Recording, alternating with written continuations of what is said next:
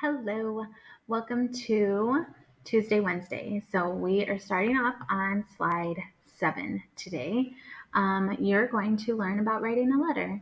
You will watch this video right here that tells you about writing a friendly letter. Um, in the video, it does have a very tiny, short body, um, but we're going to make it a little bit bigger than that. It's just because I think they were trying to get their point across.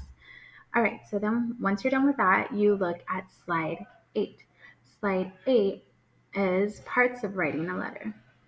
So you'll put the parts in order by just dragging um, and dropping. So you click on one like this, and then you would just slide it over into one, two, three, four, five, whichever one that you think um, it goes to. That's it for that one. Then go over to slide nine. On slide nine, you're going to write a letter on your own. So this one is going to be to a character in your book, the book that you're reading, the novel that you've been reading. You will offer advice, um, give a compliment, or state a complaint that you're having with however they're doing it or what they're doing. You need at least four to five sentences in the body.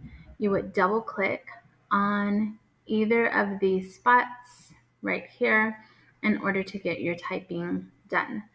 Um, then the last slide that I want to talk about for this video is slide number 10. So um, we were having Zoom meetings, but I've changed it to Google Meets. We will have 15 to 20 minutes, and it's just a check in to see how you're doing, if there's any help that you need, uh, what's going on, if you're missing anything. And what you would do is you'd come to this slide, and then you would click on whichever one you want to go to, either 1, 1.30, or 2 o'clock. And remember, it's as short as 15 minutes. So if you're trying to get in and it's 120, you might have already missed the meeting. So then I would just click on the 131 and make sure that you're there right at 130 or even possibly 128 just to be on the safe side. Okay, so that's it for this one. Thank you guys. Let me know if you have questions.